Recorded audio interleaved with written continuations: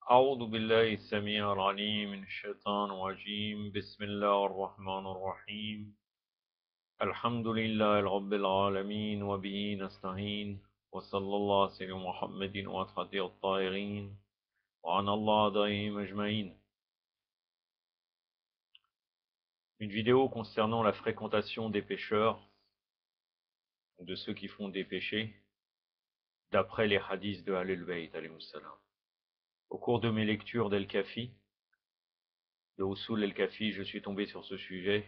J'ai vu que c'était assez important, il y a certains hadiths vraiment clés.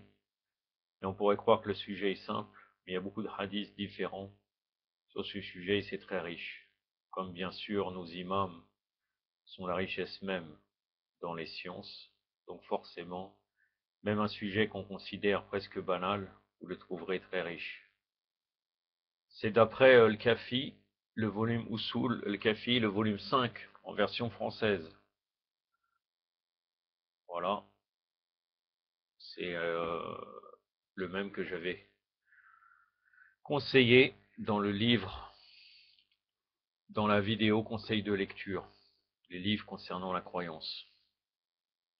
Donc le chapitre 163 à la page 86 de la fréquentation avec les pêcheurs. Je vous cite les hadiths et si j'aurais quelque chose à ajouter, je vous le dirai. Je ne vais pas réciter tout le chapitre, mais les hadiths les plus importants. Ali ibn Ibrahim a rapporté cet hadith de son père et lui d'Ibn Abi Omer et lui d'Ibn Ziyad d'Abiziyad, pardon, Nardi, et lui d'Abdullah ibn Salih, qui avait dit, Abba Abdullah, l'imam Sadr avait déclaré, il n'est pas digne d'un croyant de se présenter dans une assemblée où l'on désobéit à Allah et qui n'a point le pouvoir de changer cette situation ou quoi que ce soit. C'est-à-dire, il vient dans un, endroit, le croyant, où il y a des choses qui ne sont pas bien, on désobéit à Allah, mais il peut pas, il n'a pas le pouvoir de changer euh, ce qui se passe dans cette assemblée. Donc en fait, il ne faut pas qu'il vienne là-bas, ce n'est pas digne de sa part. Un groupe de nos compagnons chiites ont rapporté cette hadith d'Ahmed ibn Muhammad et lui de Bakr ibn Muhammad et lui de Jafari. Là, il est question de Daoud ibn Qasim Jafari, qui était un compagnon de l'imam Reda jusqu'au dernier imam et lui de Jafari, qui avait dit une fois, j'entendis Abel Hassan, l'imam Reda, ou bien l'imam El-Hadi salam, déclarer, pourquoi donc te vis chez Abdurrahman ibn Yaqub? Je répondis, car il est mon oncle maternel, c'est-à-dire le frère de sa mère.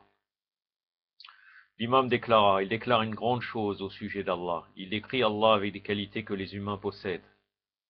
Il fait partie des mujassimans tandis qu'Allah ne doit point être ainsi décrit. Par conséquent, soit mets-toi à le fréquenter et quitte désormais notre compagnie, ou bien fréquente-nous et quitte sa compagnie. Je lui ai déclaré il peut dire n'importe quoi sans qu'il puisse me nuire, surtout lorsque je ne réponds rien à ce qu'il profère. Il déclara Ne crains-tu pas qu'un tourment divin le frappe et de vous engloutir tous deux? Ne connais-tu pas cette histoire qui est celle de l'un des compagnons de Moussa, alayhi wa salat Muhammad ali Muhammad? Or son père était l'un des compagnons du Pharaon, et lorsque l'armée du Pharaon rattrapa Moussa, ce fils, c'est-à-dire cet homme, resta en arrière, afin d'admonester et de sermonner son père, et de le faire joindre le parti de Moussa. salam, mais le père continua à marcher, ne voulant changer son opinion, et le fils qui continua à le sermonner et à le condamner, quand tous deux arrivèrent au bord de la mer, et tous deux se noyèrent. Cette nouvelle parvint aux oreilles de Moussa, salam, il déclara Il est certes dans la miséricorde d'Allah, mais lorsqu'un tourment divin descend, la personne qui se tient auprès d'un pécheur ne pourra guère être sauvée et protégée. C'est-à-dire, il faut éviter d'être avec euh, un pécheur qui insulte Allah, de peur qu'il y aura un châtiment sur lui et qu'on peut être touché nous-mêmes. C'est-à-dire avoir un malheur. On pourra être dans la miséricorde d'Allah vis-à-vis de l'akhira, mais être près de lui, ça peut attirer qu'on ait un malheur dans cette vie.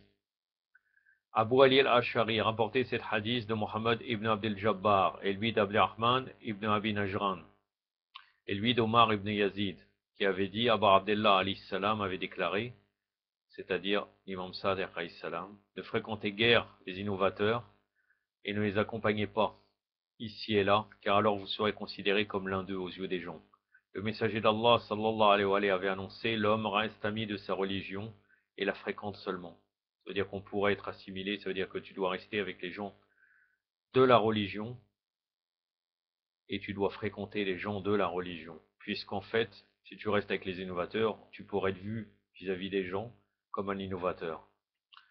Mohammed ibn Yahya a rapporté cet hadith de Mohammed ibn al-Hussein, et lui d'Ahmed ibn Muhammad ibn Abi Basir, et lui de Daoud ibn Siran, qui avait dit, Abba Abdullah l'imam Sadiq salam, lorsque vous aurez vu les sceptiques, ça c'est un hadith très important, qui peut comprendre le minhaj al-Rafidi, l'organisation rafidite actuelle, c'est vraiment quelque chose qui argumente pour prouver que le rafidisme, le fait de rejeter totalement les ennemis des Ahlul sans question d'unité, est tout à fait argumenté.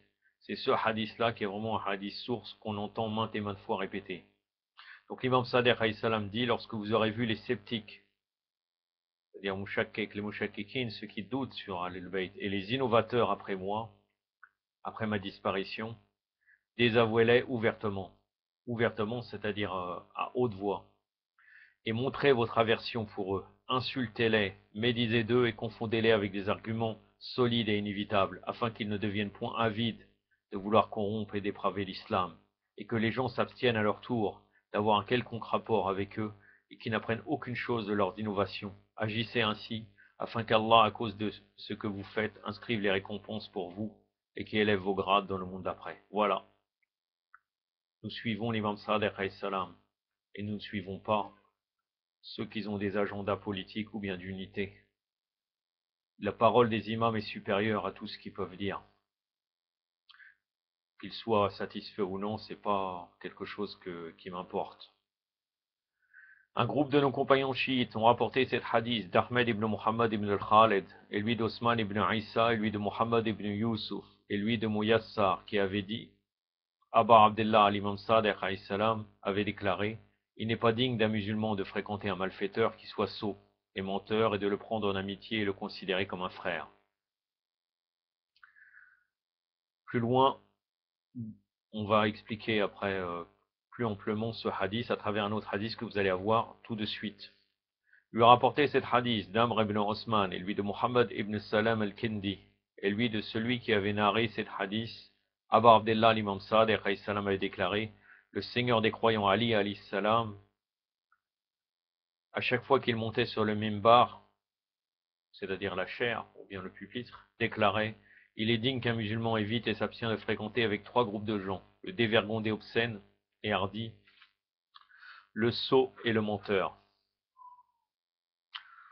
Le dévergondé obscène et hardi embellit et abellit ses actions devant tes yeux, et aime que tu lui ressembles, et il ne t'aidera aucunement dans les affaires de ta religion, ni dans celles du monde d'après. Et fréquenter un tel individu provoque l'impolitesse, la grossièreté, la violence dans le caractère et le tempérament et la cruauté et le fait de le fréquenter provoquera ta honte et ton embarras. Le sot ne donnera jamais aucun bon conseil, et il n'a rien à espérer d'un tel individu pour qu'il puisse éloigner un mal quelconque de ta personne, même si pour cela il se met dans l'embarras et se donne du mal. Et bien qu'il veuille te procurer un bénéfice, il ne te donnera que des dégâts. Par conséquent, sa mort est bien meilleure que sa vie, son silence est meilleur que ses paroles, et son éloignement est bien meilleur que sa proximité à ta personne. C'est-à-dire vraiment, il faut s'écarter du faux, du sot. Car vous voyez vraiment qu'il est très dangereux. Sa mort est bien meilleure que sa vie, vous vous rendez compte?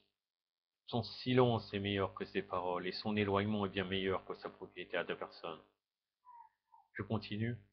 Et en ce qui concerne le menteur, tu n'auras jamais, tu n'auras jamais une bonne vie avec lui, car il diffusera et rapportera tes propos aux gens avec des falsifications et des mensonges et fera la même chose avec les propos des autres. Quand il te les rapportera, lorsqu'il termine une histoire et une anecdote, il a fait suivre d'une autre histoire, de sorte que même si à un moment donné il est en train de dire la vérité, personne ne le croirait. Il provoque la discorde et l'hostilité entre les gens, et à cause même de ses actions, il fera semer la rancune dans les poitrines. Par conséquent, craignez Allah et surveillez-vous attentivement. Dans le sens, surveillez bien avec qui vous êtes.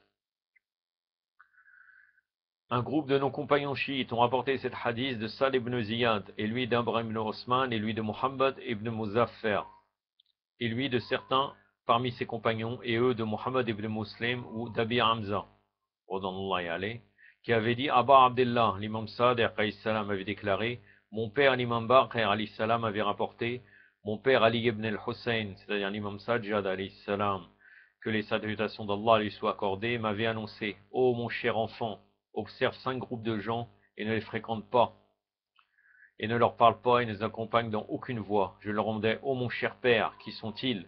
Il répondit Absente-toi de fréquenter un menteur, car il apparaît comme un mirage. Il te fera apparaître ce qui est loin comme une chose qui est tout près de toi, et ce qui est tout près comme une chose au loin. Et évite de fréquenter le dévergondé, le débauché, car il te vendra pour le prix d'une bouchée de nourriture et encore moins que cela. Et abstiens-toi de fréquenter l'avare, car il ne t'assistera jamais avec ses biens, et ce lorsque tu auras le plus grand besoin de son aide. Et évite de fréquenter le sot, car en voulant te procurer des bénéfices, il ne t'amènera que des dégâts. Et abstiens-toi de fréquenter ceux qui ont rompu ces liens de parenté et du sang, car je l'ai trouvé maudit par trois fois dans le livre d'Allah, subhanahu à lui la puissance et la gloire. Allah subhanahu a annoncé, si vous vous détournez, ne risquez-vous pas de semer la corruption sur terre et de rompre vos liens de parenté? Ce sont ceux-là qu'Allah a maudits. Il les a rendus sourds et a rendu leurs yeux aveugles. Ça c'est la sourate Muhammad, le verset 22 et 23. Je vais vous lire. Surat Muhammad, versets 22 à 23.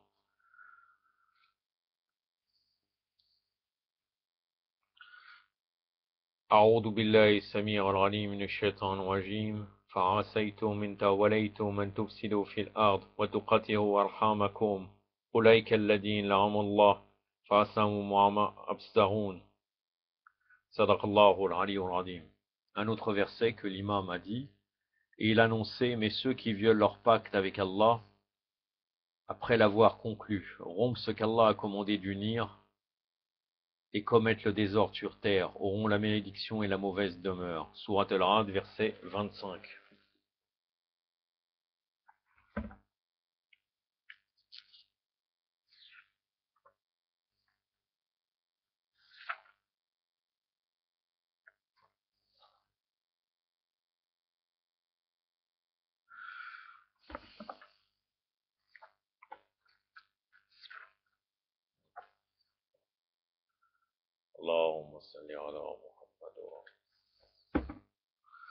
Le verset 25.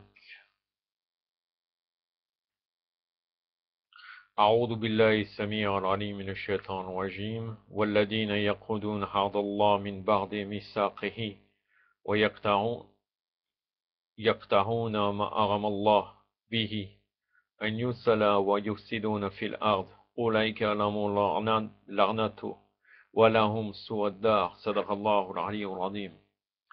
Et aussi, ceux qui défont le pacte qu'ils avaient fermement conclu avec Allah, rompent ce qu'Allah a ordonné d'unir en ce qui concerne la religion d'Allah, qui est le pur monothéisme et l'application de ses lois sur la terre, et aussi en ce qui concerne le maintien de bonnes relations avec les parents et amis et sèment le désordre sur la terre, ceux-là sont les vrais perdants. Surat al-Baqarah, le verset 27.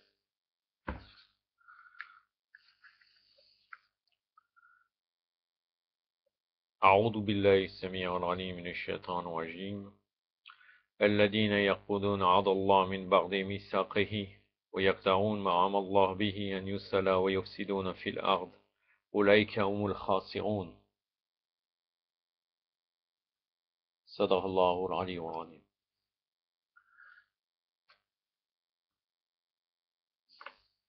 Al-Baqarah, c'est la sourate la vache pour le français, parce que je n'avais pas dit. El-Rad, Bien sûr, c'est la sourate du tonnerre.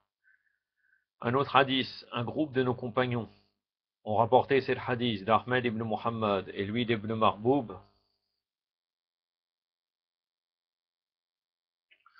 Et lui d'Ibn Marboub. Et lui de Shu'aib el-Agharofi. qui avait dit en une occasion, je demandais à Abu Abdullah, l'imam Sadiq, au sujet de la parole d'Allah, subhanahu wa ta'ala, dans la sourate An-Nisa, la sourate des femmes, le verset 140.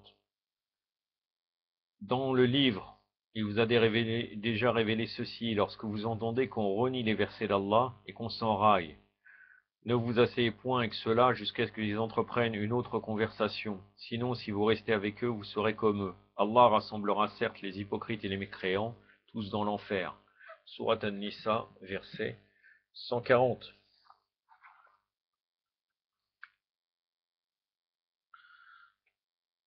أعوذ بالله السميع العليم من الشيطان الرجيم. وقد نزل عليكم في الكتاب وإذا سمعتم سمعتم آية الله يكفر بها ويعتزوا بها فلا تقعدوا معهم حتى يحدوا في هذه سين غيره. إنكم عيدا مثلهم وإن الله جميع المنافقين والكافرين في جهنم جميعا. صدق الله العلي العظيم.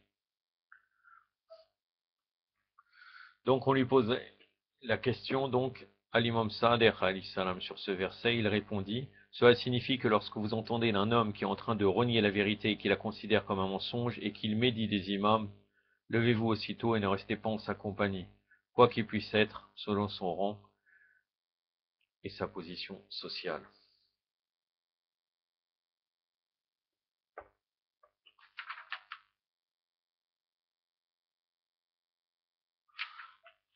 Ali ibn Ibrahim a apporté cette hadith de son père et lui d'Ali ibn Asbat et lui de Saif ibn Amira et lui d'Abdelala ibn Ayyan qui avait dit Abu Abdullah l'imam Sadr avait déclaré quiconque croit en Allah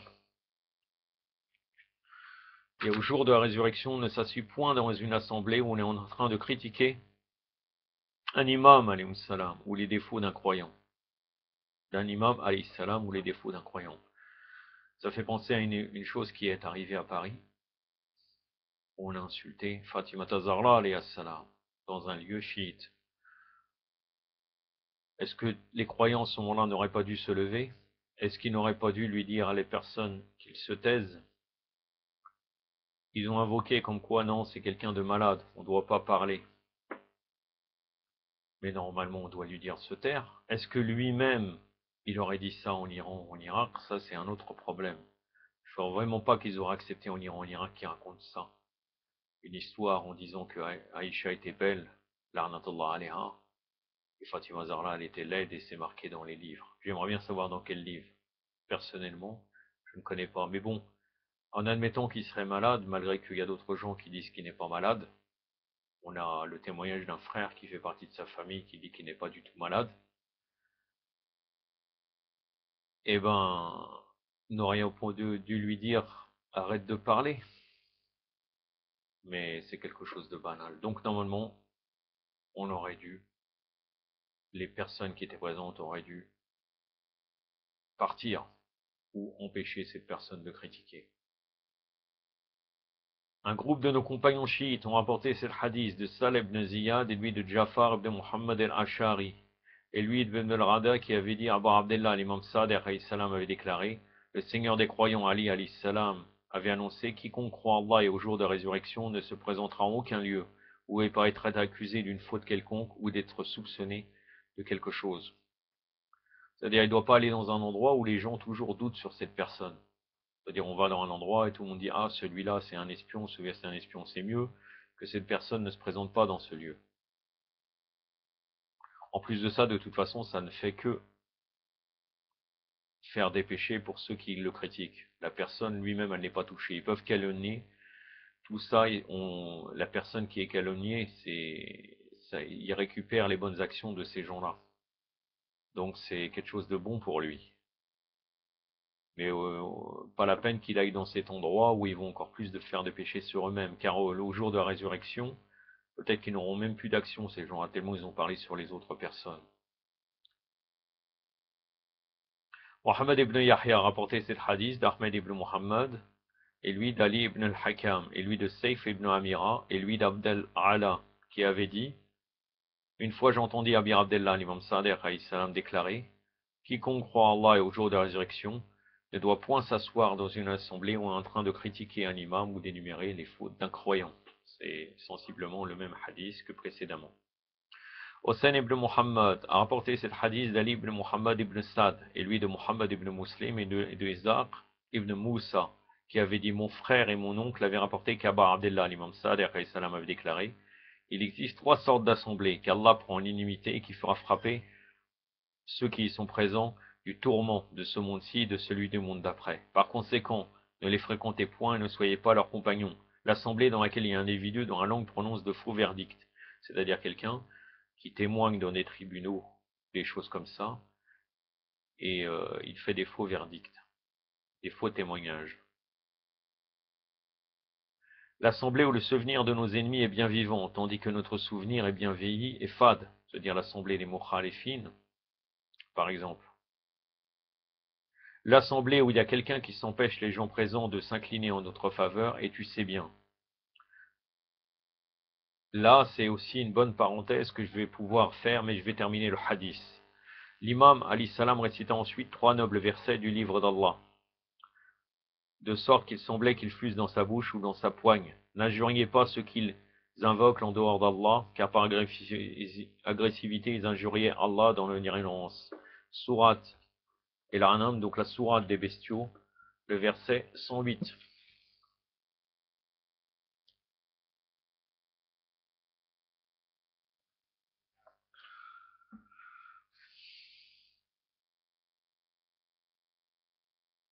Là, le verset, c'est un extrait du verset, il n'est pas en entier. Donc je vais citer exactement comme l'imam l'a dit. أعوذ بالله السميع العليم من الشيطان الرجيم ولا تسبوا الذين يدعون من دون الله فسيغ الله عدوا بغير العلم صدق الله العلي Donc là, il cite encore un autre verset, l'imam. Et quand tu vois ceux qui pataugent dans des discussions à propos de nos versets, éloigne-toi d'eux jusqu'à ce qu'ils entament une autre discussion.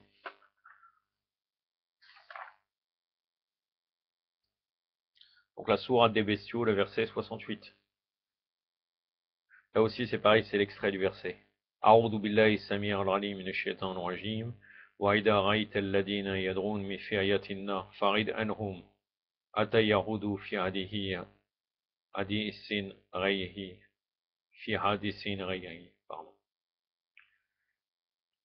Donc quand tu vois ceux qui raillent nos versets, éloigne-toi d'eux jusqu'à ce qu'ils abordent un autre sujet. Sadaqallahu al un autre verset, soit les abeilles, le verset 116. Ne dites pas conformément au mensonge proféré par vos langues.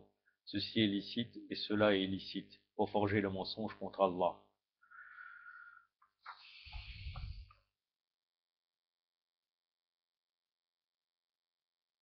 Là aussi, c'est l'extrait du verset. A'udhu billahi samir al-alim min shaitan wajim. Wa la taqula lima tasifu al-sinatukum al-kadiba. Hata halun, ada halalun wa ada al-haram. Li aftahu halallah kadiba. Sadaqallahu al-ali wa al-azim. Donc j'avais euh, une petite remarque à faire sur une partie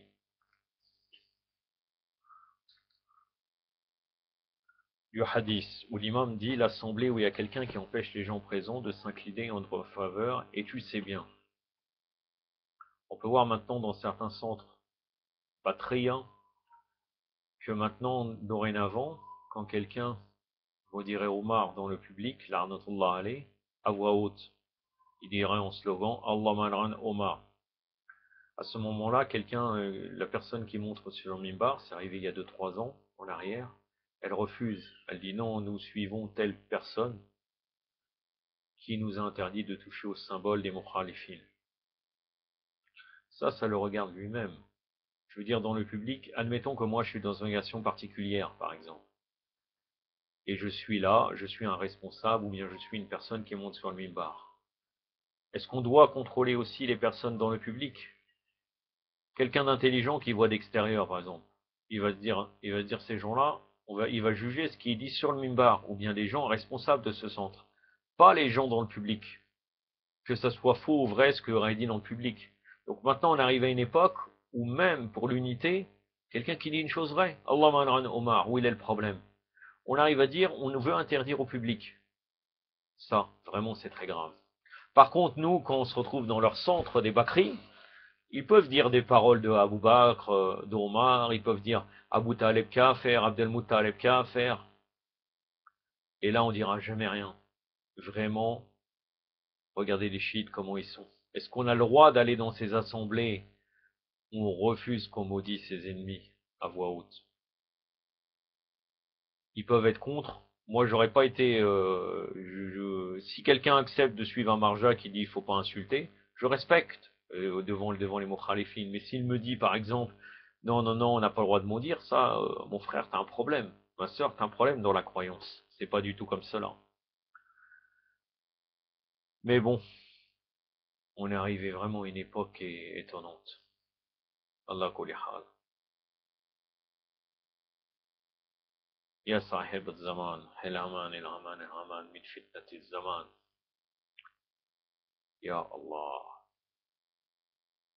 Ya Medi adlikni wa la tualikni.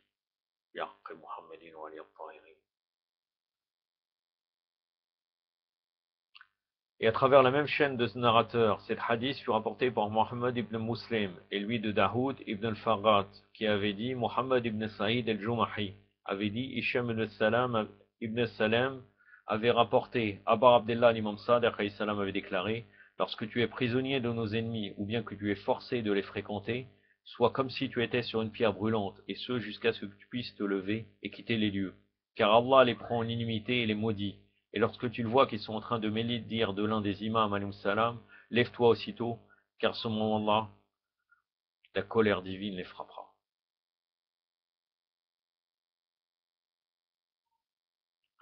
Abu Ali al-Ashari a rapporté cet hadith de Muhammad ibn Abdel Jabbar, et lui de Safwan, et lui d'Abdelrahman ibn Hajjaj, qui avait dit, Abba Abdullah l'imam Sadiq avait déclaré, quiconque s'assoit avec ceux qui insultent les amis d'Allah, aura sûrement commis une faute devant Allah, le sublime. Le dernier hadith, il y a un autre hadith que je ne vais pas citer, et le hadith numéro 15, et je terminerai là. Un groupe de nos compagnons ont rapporté cet hadith d'Ahmed ibn Muhammad ibn al-Khalid, et lui de son père, et lui de Qasim ibn Urwa, et lui d'Obeid ibn Zorara, et lui de son père qui avait dit Abi Jafar, c'est-à-dire l'imam Bakr salam, avait déclaré Quiconque s'assied dans une assemblée on est en train d'injurier l'un des imams, salam, et qui peut se lever et partir, mais qui ne fait pas cela.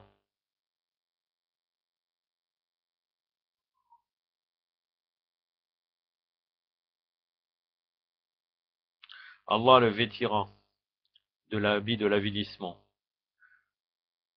le jour de la résurrection et le tourmentera dans le monde d'après. Il retirera de sa personne la digne personne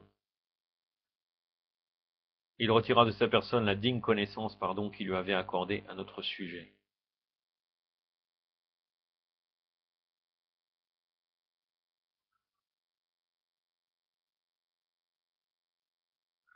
Je vais répéter car je